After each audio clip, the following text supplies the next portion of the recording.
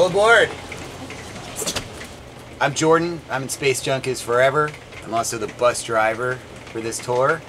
And I'm Maru. I'm touring as my solo project, Maru Martinez, with our drummer, Dimitri Fantini, who's awesome.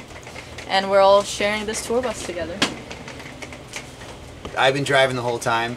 Um, and I mostly booked the tour too. And I think the mistake I made in this tour, I've been feeling, is that the venues are pretty, the cities are pretty far apart. But it just kind of worked out that way. So we got six or seven, eight hours of driving a lot of a lot of the days, which is long. But I drove uh, cargo vans for years as, as part of my job for like way too many years that I wish I hadn't. But it made it driving this thing like fairly routine. It's a little wider, a little longer than what I was used to, but it, everything looks the same. I drove Ford vans; it looks exactly the same up front. You know, one thing I think is kind of funny is that these wipers are like little dinky wipers on this giant van.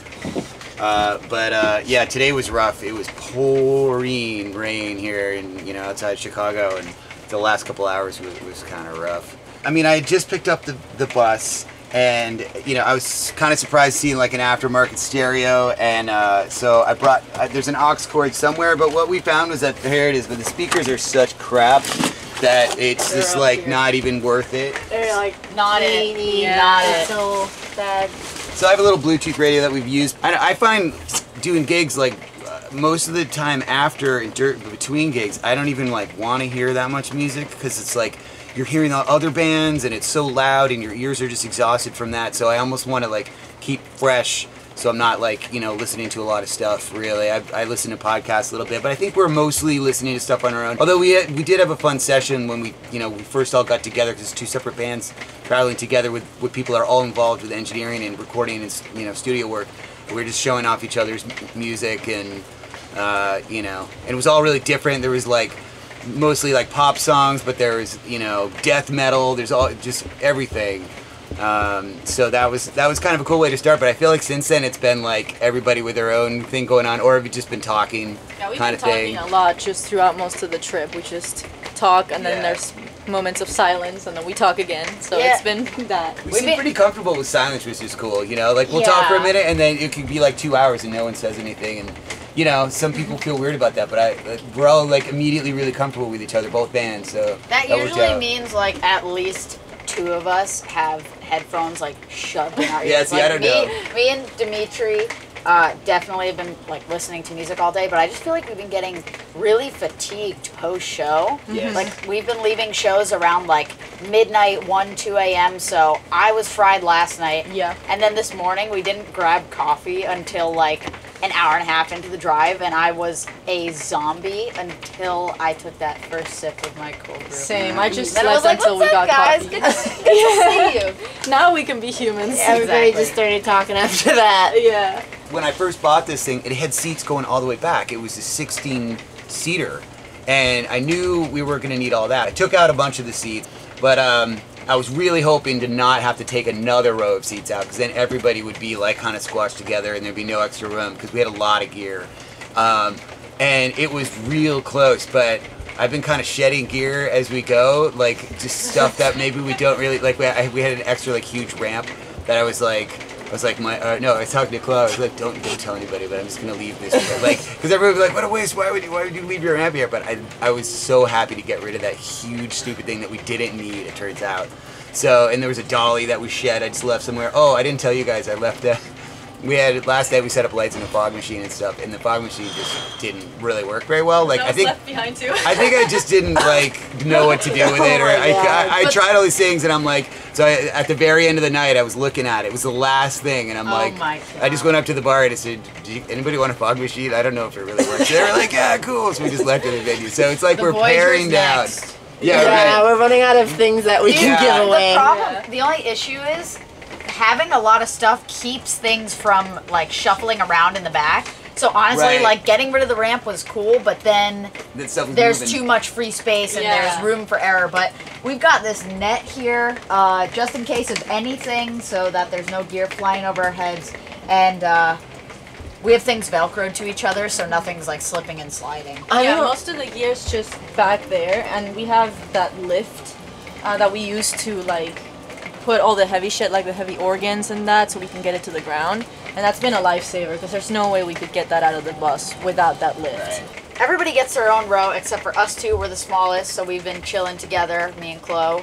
Uh, for the first few days, we were sitting over there, but I get really freezing cold, and Maru was like, "You should sit over here because literally the the heater is right under me." So I've been chilling here.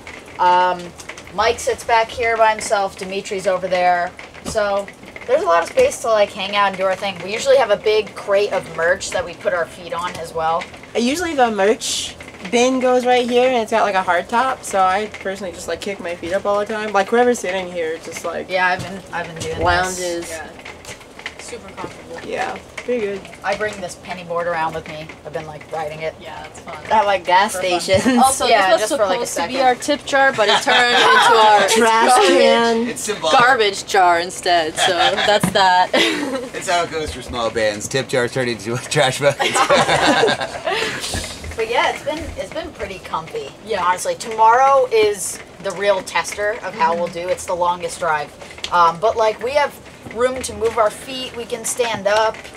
It's safe. Like it's it's it was a it was a pretty good move by Jordan. Yeah. Yeah. Jordan put that net up, so there's been some shifting around of gear, but thankfully, if something were to slide up, it would never like get to this side because it's covering it. So what it was was I, I posted a video on on it to our social media, and somebody commented who had been on a lot of tours and was like, "Dude, you, someone's gonna get hit in the head with stuff. Like shit's gonna go wrong. You're gonna break hard at some point, and it's gonna be rough."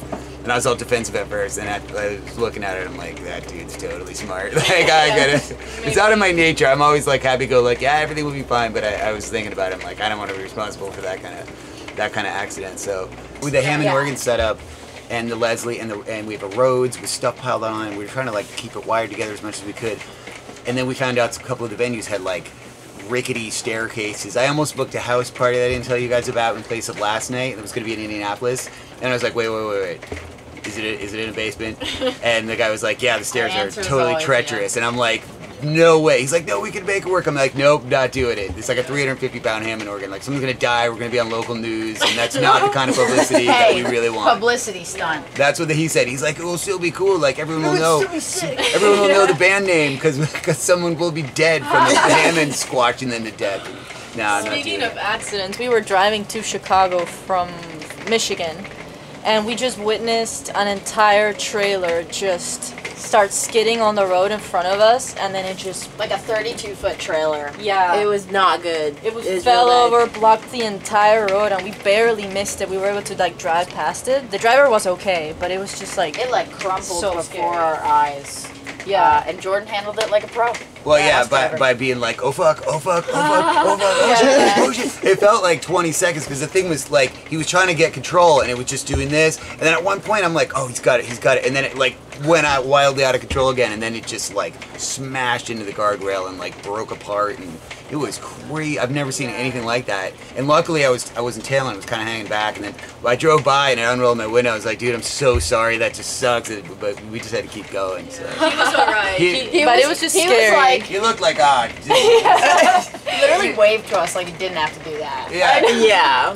He looked pretty collected for someone that just got into I know. I could- horrendous accent. He was just like, and he had his puppy dog beside him. I couldn't tell if he was collected though or just dead inside. 'Cause I feel Yeah, like, like- it's a it's a thin line.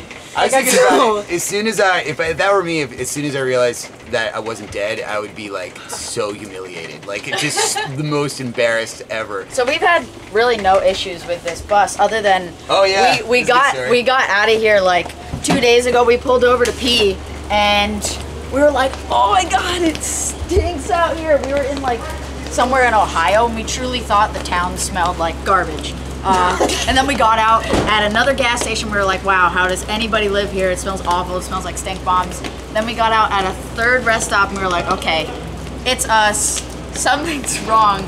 So we found out the there's a battery here that controls uh, the the lift. Well, it turns out it's actually just works in tandem with the front. It's the whole. It works the whole thing. Yeah, There's so- three batteries in this. I replaced the one in the hood because I knew it was bad, but I didn't know there were two more in this stupid compartment here that were like the original batteries from 2013. They smelled like stink bombs. Like I was about to Yeah. puke, literally. smelled like rotten eggs. Well, we didn't know what it was. It was right when we got into Ohio, and we're like, Ohio really smells. and then like we went to the next rest stop, and we were like, that Yeah, smells that's what I back. just said, yeah. Wait a minute. like three times before we realized. I, I truly had the thought: How does anybody live here?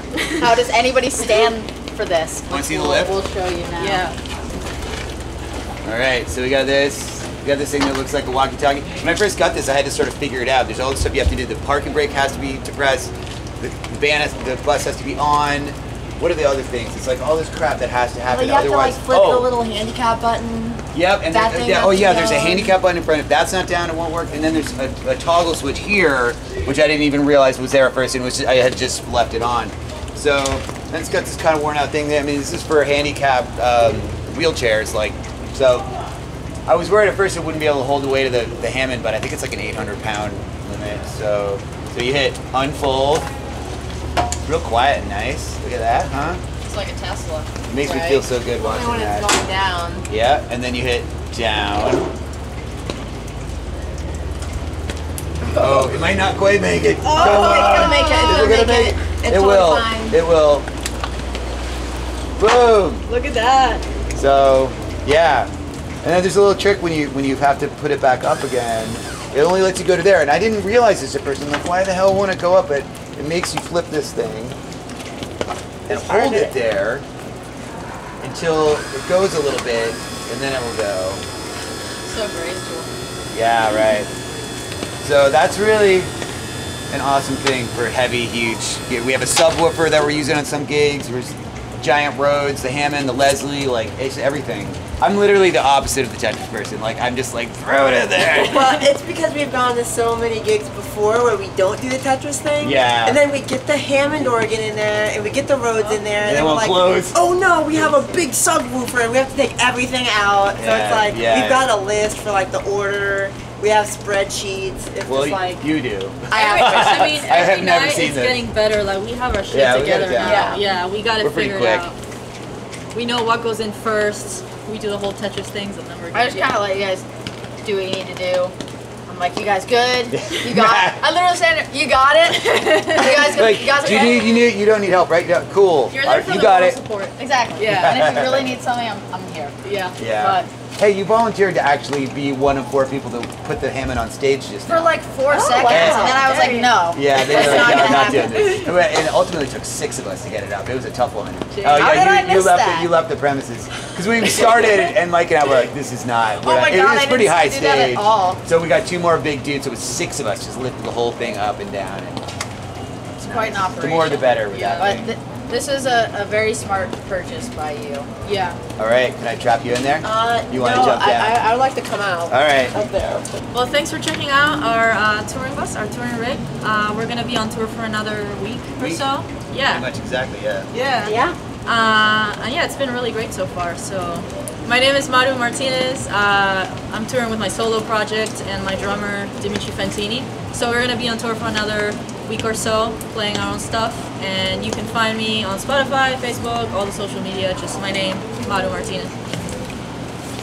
Space Junk is forever. We're finishing up in a week or so on this tour, and you can find us on all the social medias, of course. Nothing really special. Space Junk is forever. And it is indeed. It really is. Check us out.